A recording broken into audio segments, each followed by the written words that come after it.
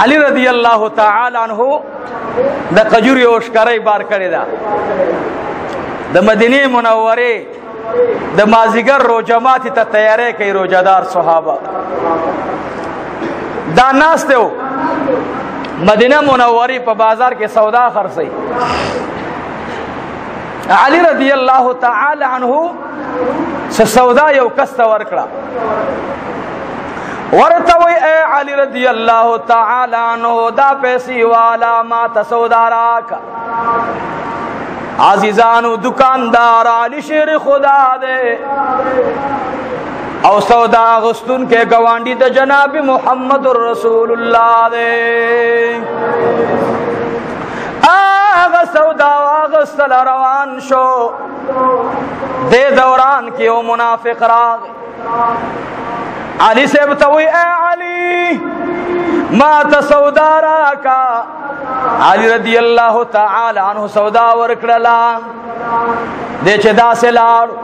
واپس راغې ورته اے علي بن ابي طالبان زما دا سودا خوخه نشوا دارا تبدل کا د دو کون سردار زمر ته فرمایل راکه چې بدلې کما هغه ته کې خدل نور ورته ورکړلا ورته وی اے د الله بندا دا یو ساکه دی خو نه واپس وروړه دی لاناس دی واپس راغې ورته وی علی دا می خو خان را دا بدل کا بل سوداراک بل مرته ورکړلام علی رضی الله تعالی عنہ ناس دی صحابه راځي سوداګانی کی دی ورته به ولار دی ورته اے علی ما ته سودا بدل کدا می خو خان دا بل راک علي صاحب ورته بل سودا ورکړه وکړه چې دا لاړو راغې علي صاحب سودا بدل کړه اخر کې ورته علي صاحب فرمایل ودا الله بند دا سراش دکان ترا دن نشا چې کوم سودا ستا خو خوي ولا هغه سودا زما خو خدا چتی والی کله چې د لاس اونیولو یو سیز راوالی علی سیب ته وړاندې سترګو ته یو سی ورته وی اے علی دا دی ولې نه راکولا ورته وی دغه دی والا ما ته پته نه واته پیدا کړ علی سیب ته وی عجیب خبره ده یو خوازان ته د جناب رسول الله زموای او بل طرف ته ماته تکلیف راکې علي سه ورته وای چې تعالی تکلیف ته ما ټول دکان تعالی د خدای پر رضا درکړلو ټول دکان والا خو تکلیف چاته زنه ورکو دا خو ماده لپاره دکان وستل چې خلکو له سہولت وي تعالی تکلیف په لوش ټول دکان والا هغه منافق را اوتلو ورته وي مونږ د چان تستر ګټي ټول نه غواړو ته په دې باندې مونږ تستر ګټي ټول غواړي چې زمونږ سترګې ځان لټټي کې علي رضی الله تعالی عنہ تو فرمایل الله رب العالمین رشتیا فرمایلی دي چې شیطان ورته وویل یا الله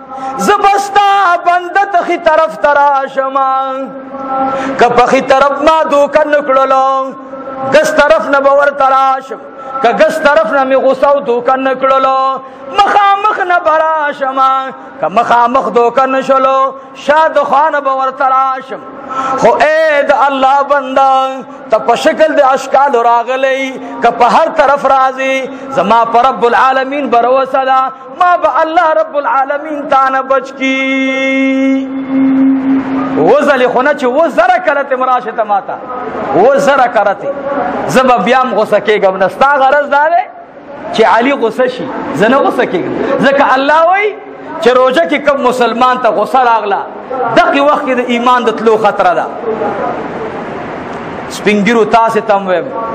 خويندو تاسو تم ویم نوجوانانو تاسو تم ویم دکاندارانو تاسو تم ویم بل واسطه بلا واسطه ورونو ګره ایام معدودات دي سو ورځې د شمار دي روزه په سویم تاریخ دا او کله به یو کله به ویننه دویم ورځ ده اختر تم 28 دن پاتې شو یا د خدای بندگانو ایام محدودات دی ګوره شمار روزي دي والدینو سره احسان کوي خود سره نه سختی مکوي ترکارې کې د مالګه نشته نو چې نشته څه چلو شو ته پکې واچو کنه ترکارې کې مالګه نشته ته پکې مالګه واچو شربت خوګ نه وي په بیبي باندې سترګې مراه باسا قسم دې چې دنیا شرم نه چې زه خپل خزه سره پیړې وکم روټي ورته برابر کم او خدای مې دې قسمي لس منټه تنور غاړه کې تش موږ نشو ودرېدلې او بدرېګو په ایمان او بدرېګو دا زنانه ولاړې خورانه دا موږ ته روټي پخای نغری غاړه کې ناسي خورانه ترکاری کټ کړي تا تور کړي دا دولس بجو پوری دکان پرانیسته یادې مزدوری کړي دا دکان کې ناس ورا دی وړلا خزل سترګې مړه او باسا خزه دوه کارا کړي یو استا نا قرار بچي قرار کړي دویم خزه دا تور کړي دا چې تعالی دې تو عام برابر کړل عائشه رضی الله تعالی عنها فرمایي دا خبره کوم به دعا کو بی بی عائشه رضی الله تعالی عنها فرمایي عزیزان وې دا رمضان المبارک لومبۍ ورځ وا د طعام د پخې نمبر زماو او د روټۍ د پخولو نمبر دا د بیبي حفصه رضی الله تعالی عنها لور د عمر فاروق رضی الله تعالی عنه بیبي حفصه رضی الله تعالی عنها لګی دا حضور پاک می په دې دروازه باندې راغې او په دې دروازه باندې ډایرک زما حجره او نغره پات شو لاړو ډایرک د بیبي حفصه رضی الله تعالی عنها طرف ته د عمر فاروق رضی الله تعالی عنه لوردان مور د مؤمنانو دان نسبی نبی بیدان اغا حفصه رضی الله تعالی عنها د تنور غاړه کې ولاړه ده روټي د پار انتظام برابرای یو روټي داس اوټه په ولان چې کله ځان په غریبان دي په تبخي باندې یا په تنور باندې پوري کوي دې طرف نه یو आवाज ووري دلا چې دې سره یو څوک لګې دې روټي پلانې هغه پیړ پلاس کې اړه را اړې بيبي حفصه دې زه په لیدو باندې دې بل طرف ته مخ راوړ بیا دې خو مخ راوړ چې ویل دلخي طرف ته ور سره جناب محمد رسول الله ناسه ما او فرمایل کاش نن د روټي نمبر زماوي بی عائشہ وی ما دا الفاظ ویل وی بی بی حفصہ مبارک پجڑا شولان د جناب رسول الله نه روټي واغستلان وی فرمایل فدا کا بی و امی یا رسول الله زما مور او پلار درنه قربان شه تاول روټي په لاس کې راغستې دا ما د حضور مبارک دا لاس راواغستلم پخپل جبه باندې ما صفا کولم د دې لاس مبارک نه ما ته خوشبوئی راغله ما ته حضور فرمایل وحفظان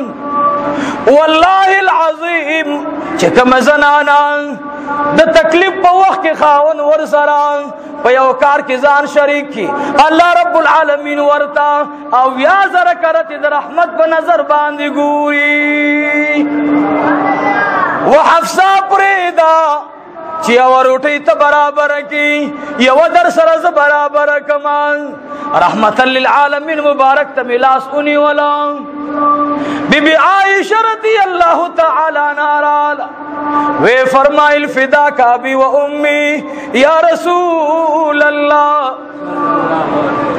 ما تاسو په توجه ته زمان په منډه منډه دې زه تراله یا رسول الله ما بد حفص اثر روټي پخ کړه ورته وې دا ګرمي دا تکلیف ته بيبي حفصه زما په شان یو بشر دی نبی علیہ الصلات والسلام به اثر راغې نغری غاړه کې بناستو یو ځل بی بی عائشه فرمای زما سترګې لوګو ونیولې ما داسې کړیو داسې لوپټه مې سترګو ته نیولې وه ډېر ټیمه پورې داسې نغري نه ما مخ اړولی ما ته څه پته ده چې زما نغري ته پوکې وهلی کېږي او نغري کې اور بل شو وای ما چې سترګې پاکې کړې داسې مې چې ولیدل د جناب رسول الله ګیره مبارکه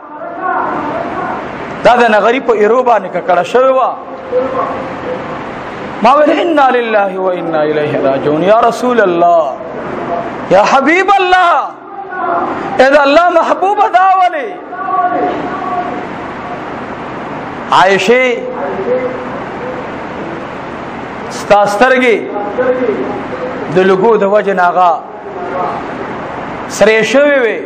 تا برداشت نشو کولای نور ما باندې دا لازم دي چې تاسو سره تعاون وکم ورونو پښتو دي ته نه وای چې روزه د زما او ستاسو په زنانو باندې دا د سترګې راځتلې پام کوي ورونو د جناب رسول الله سنت باندې ژوند اختیار کړي قسم دې خوشحالي خوشحالي ده